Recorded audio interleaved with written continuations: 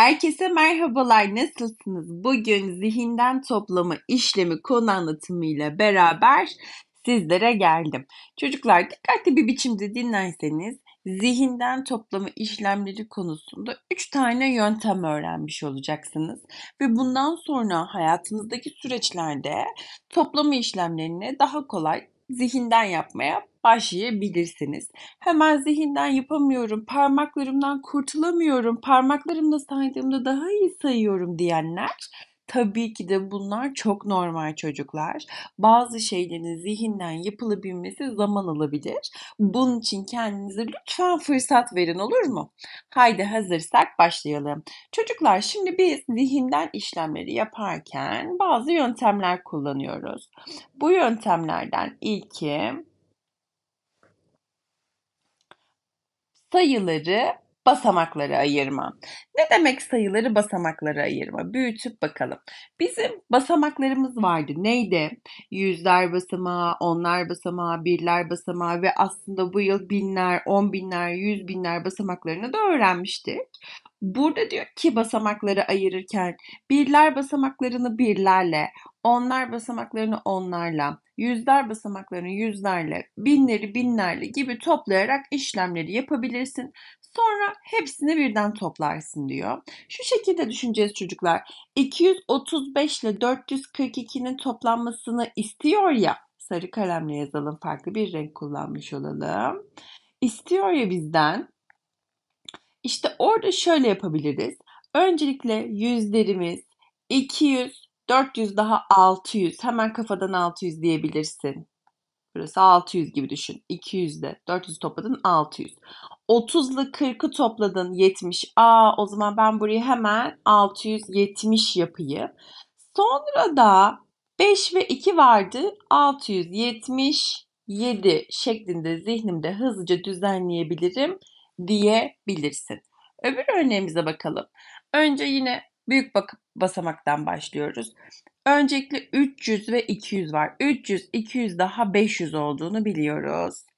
20, 40 daha 60. O zaman ben burayı hemen 560'a çevirdim.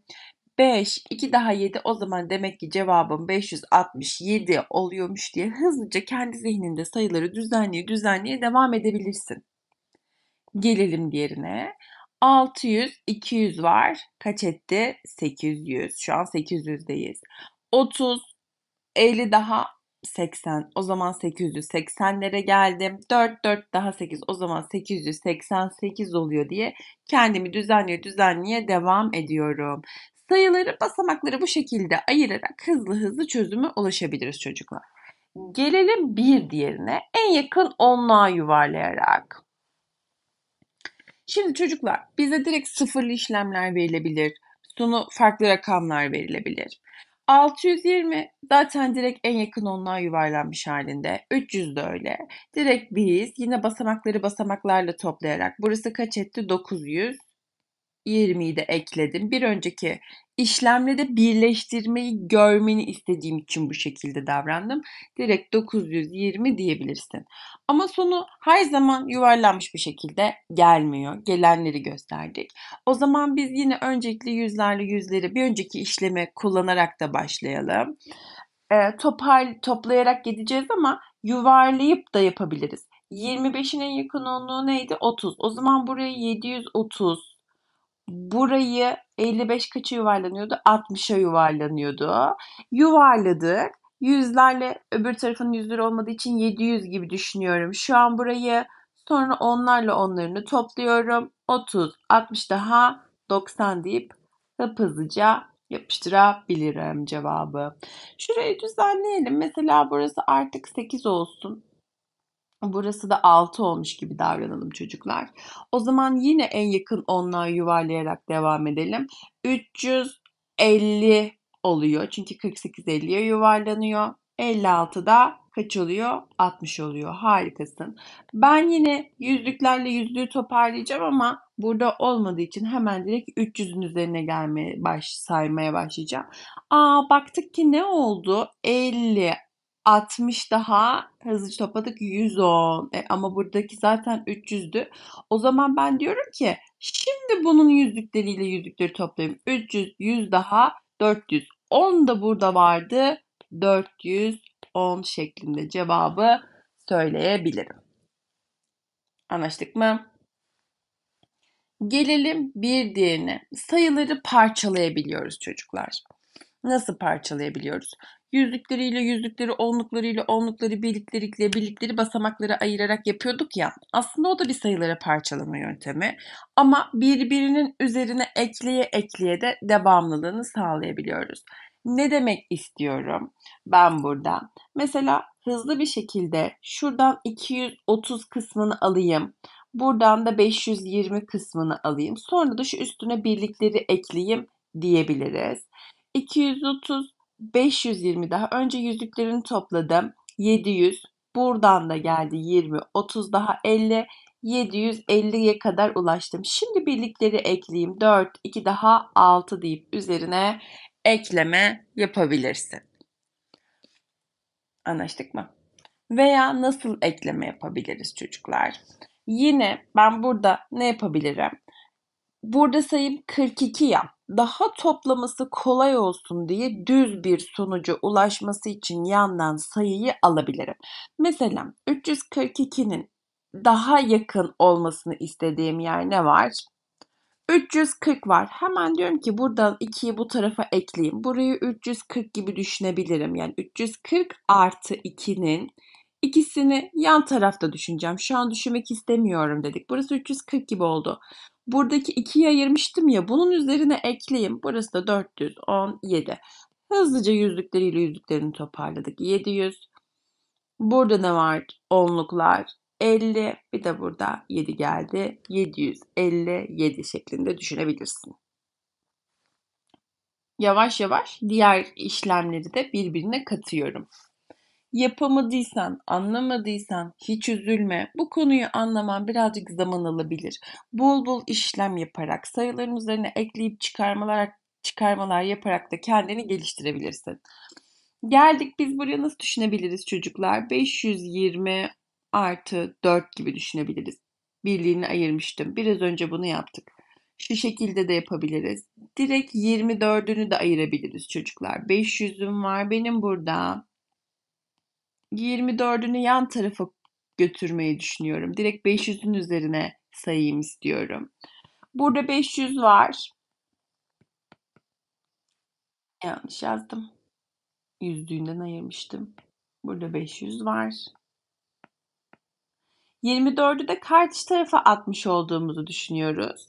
O zaman ne oluyor? Hemen hızlıca birlikleriyle birliklerini, onluklarıyla onluklarını koyup düşünebilirsin. 500, 200 de buradaydı. 700, 55'i de yanına koyduk. 755.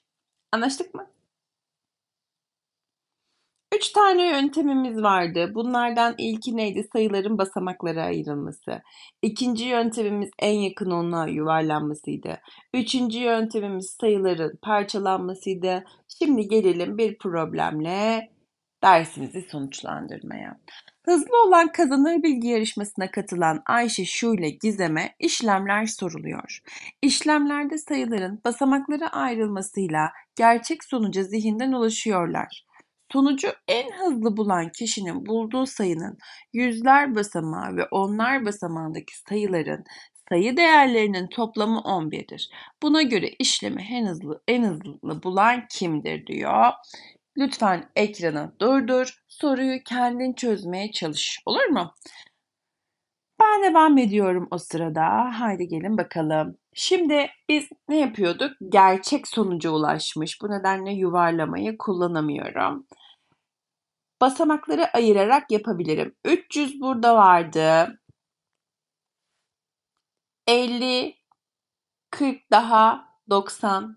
Birliklerini de yapıştırdım. 398. Bu Ayşe'nin sonucu. Geldim yine ayırıyorum. 400, 300 de burada var. Kaç etti şu an için? 700 kısmındayım. Onlukları toparlıyorum. 50, 80 daha 130. 6 da burada var. 136.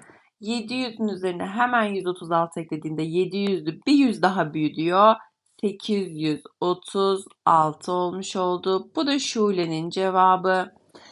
Geldik yüzlükler 200 öbür tarafta yok. Şu an için hala 200 aklımda tutuyorum. Onluklar 80. Bir de burada birlikleri topladığımda 10 geldi. 80 ile 10'u birleştirdik. 90. Cevabımız 290 oldu. Bu da kimin sonucu? Gizem'in sonucu. Bize ne söylüyor? Yüzler basamağı ve onlar basamağındaki sayıların sayı değerlerinin toplamı 11 olduğunu söylüyor. Hemen bakalım. 9, 3 daha burası 12. 8, 9, 10, 11. 9, 10, 11. İşlem sonucumuza baktığımızda yüzler basamağı ve onlar basamağındaki sayı değerlerinin toplamına ulaşan iki kişi olduğunu görüyoruz. Demek ki şöyle bir gizem en hızlı ulaşıyormuş. Bugünkü dersimizin sonuna geldik. Bir sonraki dersimizde görüşmek üzere. Kendinize çok iyi bakın. Hoşçakalın.